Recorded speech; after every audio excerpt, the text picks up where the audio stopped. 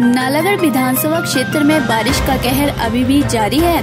नालागढ़ की मलहड़ी पंचायत के गाँव पपलोहा की कालाकुंड नदी पर बनी पुलिया का एक हिस्सा बरसात में बह गया। मिली जानकारी के अनुसार वीरवार को नालागढ़ के ऊपरी क्षेत्र में हुई तेज बारिश के कारण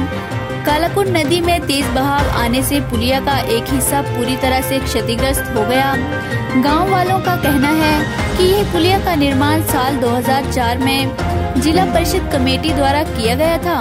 जिस पर से दर्जनों पंचायतों के लोगों का आना जाना है।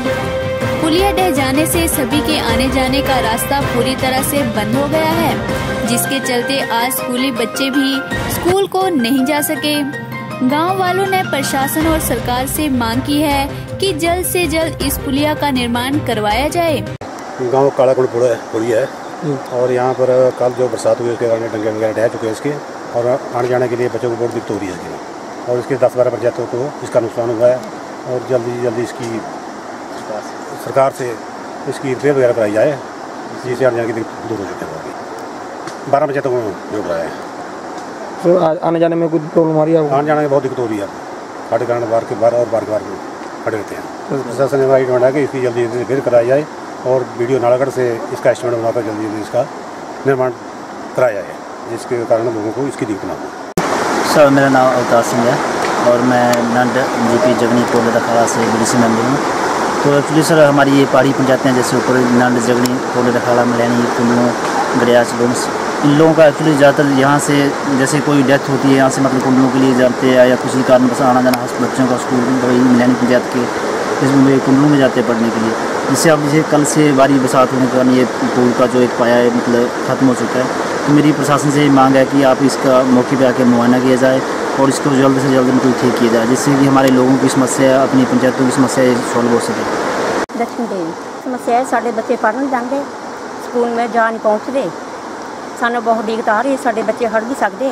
ਸਾਡਾ ਜੋ ਪੂਰਾ ਮੇਨ ਉਹ ਟੁੱਟ ਗਿਆ आपके बच्चे घर बैठे पढ़ नहीं जा सकते इन्हों दो तीन दिन हो गए बरखा दे जी अच्छा जी बरखा ਦਿੱਤੇ ਸਾਡੀ ਇਹ ਵੀ ਸਾਡਾ ਕੁੜ ਛੇਤੀ ਬਣਨਾ ਚਾਹੀਦਾ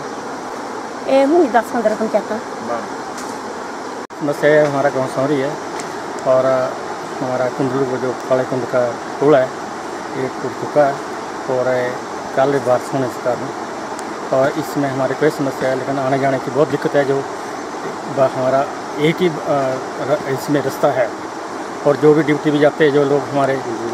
बस छूट जाती है आने ने रात को भी तो इसमें यही आना मलैनी को भी और जाति को भी और जगनी को भी टिट को पोले खड़े को भी यही रास्ता हमारे को जो छोड़ पड़ता है। सभी लोगों को जो मीन रोड मीन, मीन रास्ते तो यही है। मीन रास्ते तो यही है तो जो अड़ताड़ी वाला और ये हमारा ये तो लिंक रोड है वो इन रोडों से अलावा यही इन रास्ते के अलावा हमारे को ये यही रास्ते पड़ते हैं। स्कूल जाते हैं मलैन हमारे जो प्लस टू स्कूल है कुंडलू में प्रशासन से हमारा है उसको जल्दी से जल्दी बनाया जाए हमारे को आने जाने की बहुत प्रॉब्लम है। सागर कमल चंद नाम है मेरा और हम अ, स्कूल में जाते हैं सागर आने जाने में दिक्कत होती है हमें गांव मेरा मलैनी है